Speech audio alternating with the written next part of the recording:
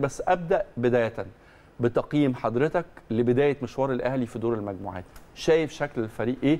أهم الحاجات الإيجابية وأهم الحاجات السلبية من وجهة نظر كابتن فتحي نصير. آه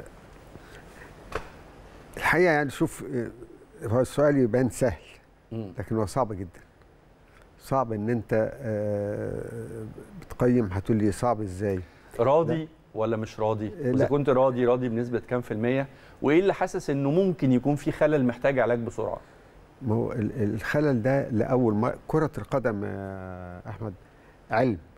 أصبحت علم مش أصبحت هي علم. امم بس يمكن العلم وصل لنا متأخر. أيوه. فإحنا بس دلوقتي وصل. أنت؟ متأكد؟ وصل. وصل. متأكد إنه وصل. آه لا وصل. طيب. وصل لنا متأخر. لكن ب... ب... المشكلة عندنا إن إحنا في حاجات بتمر علينا لأول مرة. الحالة اللي بيمر بيها النادي الأهلي رغم ثبات المدرب وثبات اللعيبة وثبات الإدارة والجمهور اللي هي عناصر اللعبة كلها متوفرة مفيش فيها تغيرات. طيب هي وصلت القمة هنا الموسم السابق نفس مظبوط. اللعيبة دي. مظبوط.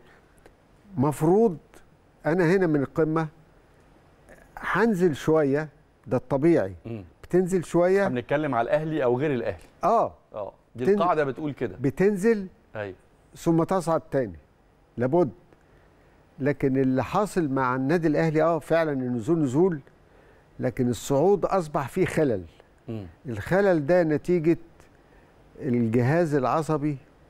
في خلل في الجهاز العصبي لكل المنظومة الكروية بتاعت النادي الأهلي.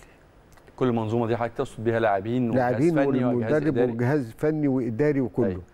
طبعا اللعيبة ظاهره أكتر لأن اللعيبة هي اللي بتقدم الكلام اللي ده في الملعب. ده، آه. فالناس مش هتحس إيه اللي في المدرب ومش هتحس إيه اللي في الإدارة ومثلا لكن الخلل باين أكتر في اللعيبة. هتقول لي في إيه؟ هقول نمرة واحد واثنين وثلاثه وأربعة في إهدار الفرص. ما هو معنى إن في فرص؟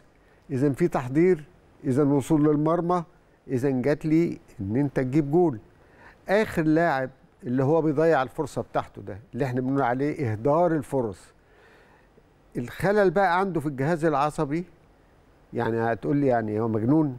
لا هو. مش مجنون ولا حاجة. أيوه. الجهاز العصبي هو اللي بيقوم عليه الدور في إن اللاعب يؤدي المهارة من خلال التحرك من خلال التسديد من خلال كده. الجهاز العضلي بيشتغل بناء على أوامر من الجهاز العصبي. طيب. و معلش يا دو... آه، كابتن فتحي.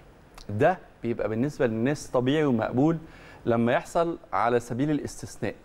لكن. لما يكون على م... انه إنه هو القاعدة هو الأساس ده في حد ذاته اللي بيقلق شوية لأنه ده معناه إنه لا حد اكتشف أو لو حد لا حد شخص ولا حد عرف يوصف العلاج المناسب.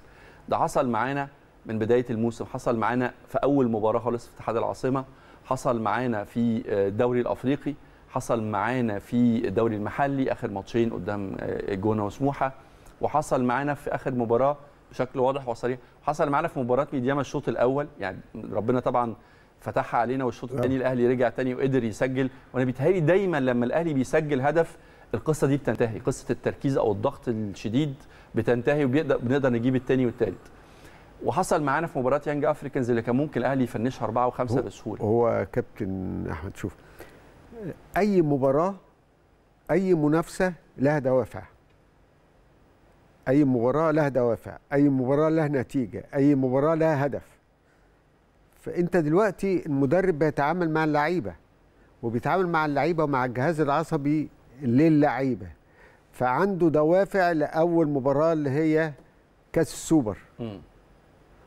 لم يد... عنده دوافع لكن اللعيبة لم تحقق الهدف من هذه المباراة بالفوز بالكاس مم.